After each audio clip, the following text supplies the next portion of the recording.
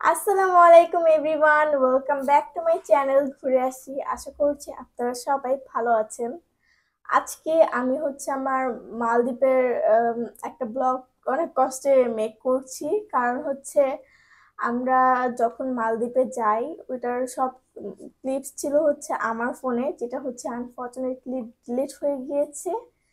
তার জন্য হচ্ছে আমি ব্লগটা কোনোভাবে মেক করতে পারছিলাম না বাট আমার হাজব্যান্ডের ফোনে কিছু ক্লিপস থাকার কারণে আমি চিন্তা করলাম আমরা যেহেতু মালদ্বীপে গিয়েছি, এখানে কিছু ইম্পর্টেন্ট ইনফরমেশন আছে যেগুলো আপনাদের দিলে আপনারা কিছুটা আপনাদের হেল্প হতে পারে, তাই এই ব্লগটা করার।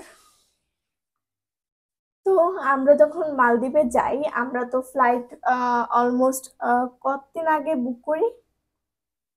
আমরা মালদ্বীপ যাওয়ার পনেরো বিশ দিন আগে আমাদের এয়ার টিকিট কনফার্ম করি। হ্যাঁ আর হচ্ছে আমরা একটা প্যাকেজে যাই ওটা হচ্ছে তিন তিন রাত চার দিনের প্যাকেজ মালদ্বীপের। আর এক একদিন হচ্ছে শ্রীলঙ্কা। এটা হচ্ছে বর্তমানে অনেক পপুলার একটা প্যাকেজ ছিল পাঁচ দিন চার রাত। এর মধ্যে হচ্ছে তিন রাত মালদ্বীপ এক রাত শ্রীলঙ্কা। তবে এই প্যাকেজটা আমি বলব অর্থিত না। কারণ হচ্ছে এখানে একদিন মাত্র শ্রীলঙ্কাতে দেওয়া হয়। তা একদিনও না, বলতে গেলে তেইশ ঘণ্টা, যেটা হচ্ছে শ্রীলঙ্কা ঘুরে দেখার জন্য ইনাফ না। আপনি শপিং টপিং কিছুই করতে পারবেন না। কারণ হচ্ছে শ্রীলঙ্কার মার্কেটগুলো কিন্তু আটটার আগেই মেবি বন্ধ হয়ে যায়। আর একটা জিনিস হচ্ছে, আমরা মালদ্বীপ যাওয়ার যেহেতু অনেকদিন আগে আমাদের ফ্লাইটটা বুকিং করে ফেলি, তার কিছুদিন পরই হচ্ছে আমার হাজবেন্ড খুব অসুস্থ হয়ে যায়, যেটার কারণে হচ্ছে উনি হচ্ছে এই অসুস্থতা নিয়ে মালদ্বীপে যায়। তো মালদ্বীপে মানে মালদ্বীপের উদ্দেশ্যে রওনা দেওয়ার পরে আমরা যখন এয়ারপোর্টে পৌঁছাই ইমিগ্রেশনের সময় আমাদের হচ্ছে আটকায়। তো ইমিগ্রেশনের কাহিনীটা বলেন। ইমিগ্রেশন আটকায় বলতে আসলে মালদ্বীপে বাংলাদেশিদের জন্য যাওয়ার তেমন কোনো জটিলতা ছিল না। কিন্তু রিসেন্টলি বাংলাদেশিরা মালদ্বীপে গিয়ে আসছে না।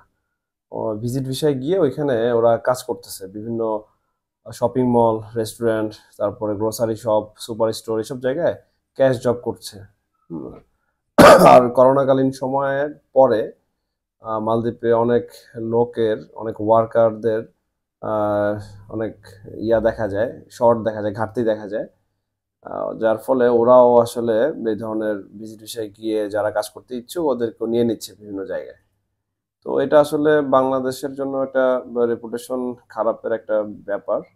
কারণ এটা অবৈধভাবে থাকা আর কি। আমি ভিজিট ভিসায় গেলাম ঘুরতে, না এসে দেশে না ফিরে ওইখানে কাজ করলাম। তো এই জন্য বাংলাদেশ ইমিগ্রেশন এইটা হচ্ছে যে অনেক কিছু যাচাই বাছাই ভেরিফাই করে দেন অ্যালাউ করছিল।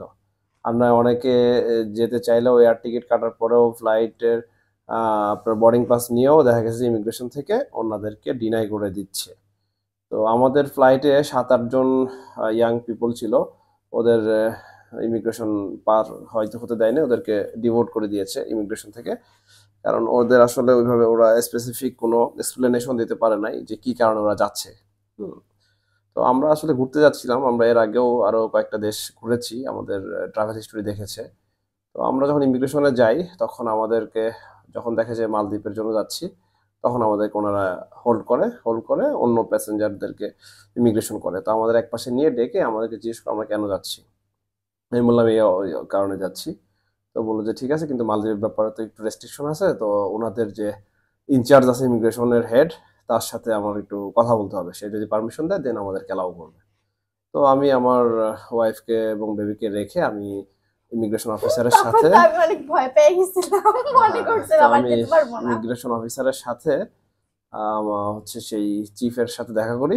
দেখা করে উনি জিজ্ঞেস করে যে আমি কি করি। আমি বললাম আমি একটা প্রাইভেট কোম্পানির জব করি। তো উনি আমার জব আইডি কার্ড দেখল।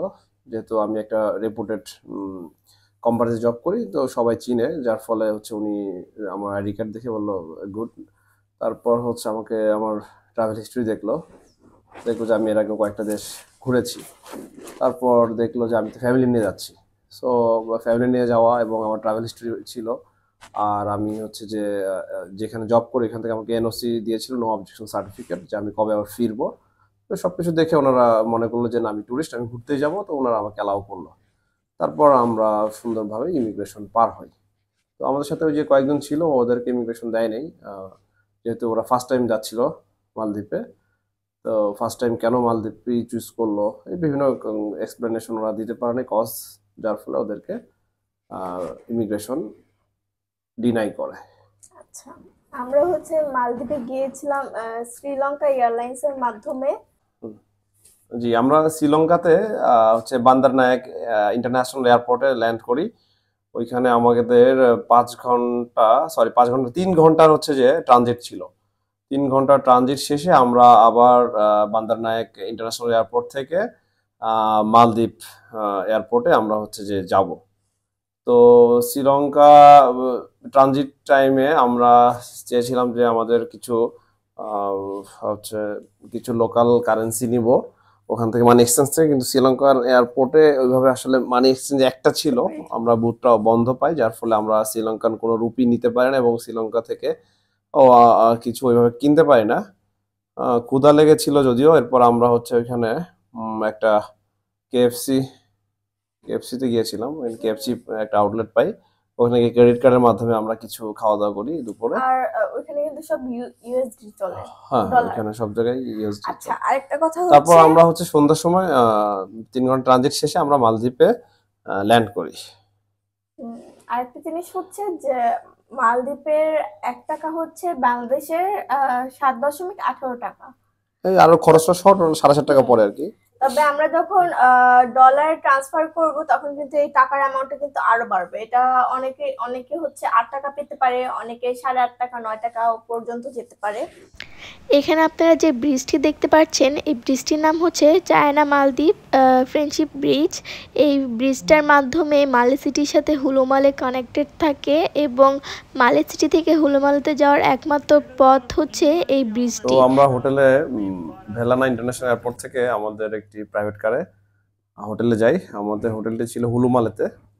হুলুমালেতে হোবান বিচ হোটেল। ওই হোটেলে ম্যাক্সিমাম এমপ্লয়ি এবং ম্যানেজার সবাই ছিল বাংলাদেশি, যার ফলে আমাদের তেমন কোনো সমস্যা না সব কিছুতেই তো আমরা হোটেলে রুমে ঢুকি। রুমে ঢোকার পর দেখতে পাই রুমটা অনেক সাজানো গোছানো ছিল এবং রুমটা একদম, হোটেলটা ছিল একদম বিচের সাথে লাগানো। তো হোটেলের রুমে প্রবেশ করার পর দেখলাম যে ফ্রিজের মধ্যে অনেক সফট ড্রিঙ্কস অনেক ক্যান কোক স্প্রাইট তারপর হচ্ছে যে উপরে শেলফের মধ্যে হচ্ছে অনেক ধরনের খাবার অনেক ফুডস ছিল অনেক চিপস তারপর হচ্ছে আপনার ওয়েফার্স হ্যাঁ অনেক ধরনের খাবার ছিল। তো এগুলো আসলে আমি তো খুশি হয়ে যাই ভাব- ভেবেছি যে এগুলো কমপ্লিমেন্টারি কারণ আমাদের হচ্ছে বিভিন্ন হোটেলে এর আগে ইন্টারন্যাশনাল কিন্তু উনি একটা প্যাকেটটা ছিঁড়ে ফেলছিল। তো যাই হোক কারণ আমরা বিভিন্ন এর আগে যত হোটেলগুলোতে গিয়েছি যে কমপ্লিমেন্টে অনেক কিছু থাকে। হ্যাঁ, চা কফি হয়তো অনেক সময় স্ন্যাক্স থাকে ফ্রুটস থাকে অথবা ফ্রিজে পানি থাকে। যাই হোক অনেক কিছু থাকে। তো আমরা এরকম কমপ্লিমেন্টারি ভাবে এবং এখানে কমপ্লিমেন্টারি এত আইটেম দেখে আমরা আসলে একটু খুশি হয়ে যাই। তো হঠাৎ চোখে পড়ল এখানে একটি চার্ট প্রাইস লিস্ট ছোট্ট একটা চার্ট প্রাইস লিস্টে প্রত্যেকটা বোর্ডের। প্রাইস লেখা ইউএস ডলারে একটা তিনশো তিরিশ মিলি কোকের ক্যান যেটা হচ্ছে সাত ইউএস ডলার মানে বাংলাদেশি টাকায় অলমোস্ট সাড়ে সাতশো টাকা। এবং সাথে আপনার twenty three percent VAT tax ten percent হচ্ছে গভর্নমেন্ট চার্জ ট্রাভেলারদের জন্য আর থার্টিন পার্সেন্ট ওদের ভ্যাট সব মিলিয়ে টোয়েন্টি থ্রি পার্সেন্ট মানে সাড়ে সাতশো সাত ডলার সাথে আরও প্রায় এক টাকার মতো অ্যাড হয় আট ডলার। আট ডলার মানে বাংলাদেশ টাকায় প্রায় সাড়ে সাড়ে আটশো টাকা। তো সাড়ে আটশো, নয়শো টাকা দিয়ে একটা তিনশো তিরিশ মিলির কোকের ক্যান তো আমরা খাব না। তো যাই হোক, আমি তো আসলে একটা একটা ক্যান খুলে খেয়ে ফেলি। এরপর আরও ওয়েভার টোয়েভার ছিল, বাবু খুব এগুলো দেখ- দেখছিল মানে ছিঁড়ে ফেলবে। তারপর আমি এগুলো লুকিয়ে রাখি। তো রাত্রেবেলা আমরা মুভি দেখতে দেখতে আবার দেখা গেছে একটা চিপস খেতে মনে চাইছে, একটা চিপস খুলে খেয়ে ফেলি। এখন ওদের পলিসিটা মার্কেটিং স্ট্র্যাটেজিটা এরকম যে আমার সামনে খাবার থাকবে আমার খেতে মনে চাবে কিন্তু খেতে গেলে অনেক টাকা দিয়ে খেতে হবে।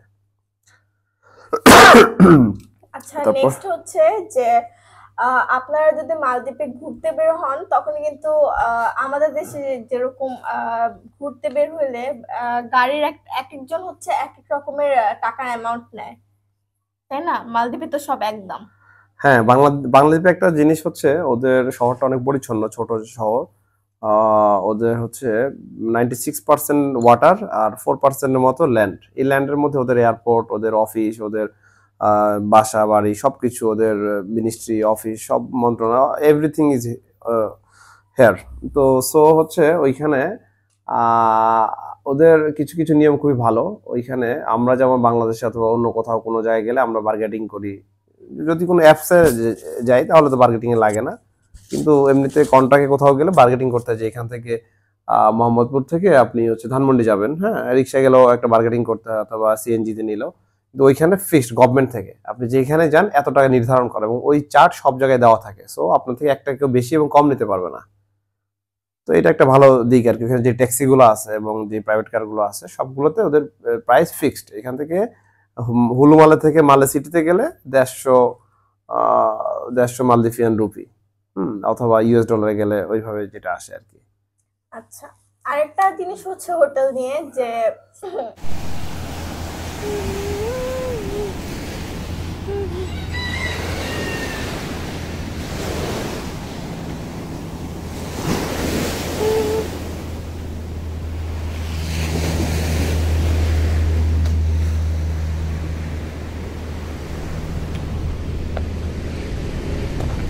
আমার ফোন না? না। ভিডিও করতেছি তো। হচ্ছে আমাদের হোটেলে গিয়ে পৌঁছে হচ্ছে রাতে। তো পৌঁছানোর পর নেক্সট ডে মর্নিং আমাদেরকে বলা হয়েছিল যে বুফে ব্রেকফাস্ট দিবে। তো বুফে ব্রেকফাস্টটা কেমন হয়? যে একটা খাবারের সবকিছু হচ্ছে সাজানো থাকে আমরা আমাদের ইচ্ছা মতো নিয়ে নিই। তো আমরা তো ওইটা মাথায় রেখে নিচে যাই। বাট যাওয়ার পর দেখি কোনো খাবার কোনো কিছু সাজানো নেই। আমাদেরকে একজন ওয়েটার এসে একটা মেনু দিয়ে যায়। তো আমরা চিন্তা ফার্স্টে মনে করেছিলাম যে মেনু দেখে যেটা অর্ডার দিব ওটা তারা মেবি মেক করে টাটকা টাটকা খাবার এনে দিবে। তো আমরা হচ্ছে ও পাশ দিয়ে দেখে আবার টাকার অ্যামাউন্ট দেওয়া। তো আমরা চিন্তা করলাম যেহেতু বুফে ব্রেকফাস্ট হচ্ছে অ্যাজ এ কমপ্লিমেন্টারি তো আমরা অর্ডার দেওয়া শুরু করি। তখন আমার হাজব্যান্ড আবার জিজ্ঞেস করে যে কমপ্লিমেন্টারি ব্রেকফাস্ট হচ্ছে কোনটা? তো সে একদম নিচে একটা জিনিস না না আমরা হচ্ছে অনেকগুলো অনেক বড় বড় ডিশেস অর্ডার করি। তো এর মধ্যে একজন ওয়েটার আমাদের এসে আমার জাস্ট একটু নিচু হয়ে আমার কানে কানে বলছিল স্যার হচ্ছে শুধু প্রথম এক নাম্বারটা হচ্ছে যে কমপ্লিমেন্টারি বাকিগুলো হচ্ছে আপনাকে পে করতে হবে ফুল পে তো বাকি যেগুলো আমরা ডিশেসগুলো অর্ডার করি ওগুলো ম্যাক্সিমাম প্রাইস হচ্ছে যে আঠারোশো নব্বই মালদ্বীপিয়ান রুপি মানে বাংলাদেশি টাকা দেখা যায় ছয় হাজার টাকা সাত হাজার টাকা এরকম। তো ব্রেকফাস্ট তো এত টাকা দিয়ে আসলে করব না। আর ওদের তো ছিল আসলে কমপ্লিমেন্টারি ব্রেকফাস্ট ছিল। কিন্তু ব্রেকফাস্ট তো আমি কেন পে করে খাব? তারপর প্রথম যে মেনুটা ওরা বলেছিল যে এইটা শুধু কমপ্লিমেন্টারি বাকিগুলোকে আপনি পে করতে হবে। তো প্রথম মেনুটা আমরা বললাম ওকে তাহলে দেন। প্রথম মেনুতে দেখলাম কি লেখা? ওইখানে জাস্ট দুই পিস ব্রেড একটা এগ ফ্রাই একটা জুস একটু জেলি একটা কফি আর চা। এই জাস্ট সিম্পল একদম প্লেন অ্যান্ড সিম্পল আর কিছুই না। সো বললাম ওকে ফাইন তো খাবারের ছবিটা দিয়ে দিব অ্যাড করে। তো ওইটাই আমরা খাই আর ইয়া ছিল সাথে ওই যে নাগেটস ছিল। তো যাই হোক তো ওদের পলিসিটাও এখানে মানে বিজনেস পলিসিটা এরকম যে আপনাকে আপনার সামনে খাবারের মেনু ধরাই দিবে। আপনাকে ওরা বলবে যে কমপ্লিমেন্টারি আপনি খাবেন কিন্তু কমপ্লিমেন্টারি মেনুটা জাস্ট লিমিটেড আপনারা যখন হোটেলে চেক আউট করে বের হয়ে যাবেন তখন আপনাদের কাছে একটা বড় করে একটা দিয়ে লিস্ট দিয়ে দিবে। আর একটা জিনিস হচ্ছে যে আমরা হচ্ছে গিয়েছিলাম কবে? মেবি জুলাই জুলাই মাসে। জুলাইয়ের দিকে গিয়েছিলাম তো তখন ছিল গরম গরমকাল। তো তখন হচ্ছে মালদ্বীপের ওয়েদারটা কেমন? এই গরম হঠাৎ করে একদম বৃষ্টি। মানে সূর্য আছে তাও বৃষ্টি পড়তেছে এরকম। বুঝতেই পারবেন না। আরেকটা জিনিস হচ্ছে যে আপনারা যদি আমাকে জিজ্ঞেস করেন যে থাইল্যান্ড মালদ্বীপ দুইটাই যেহেতু সমুদ্র প্লাবন এলাকা তো কোনটা বেস্ট হবে ঘোরার জন্য? আমি বলব অবশ্যই থাইল্যান্ড। থাইল্যান্ড হচ্ছে আমার কাছে সবচেয়ে বেস্ট মনে হয়েছে আপনার কাছে কোনটা? থাইল্যান্ড।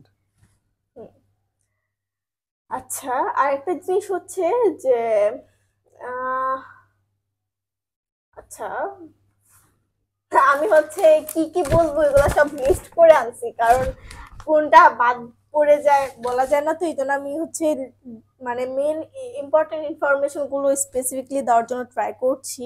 আচ্ছা আমাদের আজকের ভিডিওটা হচ্ছে এই পর্যন্তই। আশা করছি আমার ভিডিওটা আপনাদের ভালো লেগেছে। আর এই প্রথম যেহেতু আমরা একদম ক্যামেরা ফেস করে কথা বলছি, হয়তো কিছু ভুল ত্রুটি হতে পারে। আমাদের ভিডিওটি ভালো লাগলে অবশ্যই লাইক কমেন্ট এন্ড শেয়ার করবেন and don't forget to subscribe my channel because your one subscription is much for me thanks for watching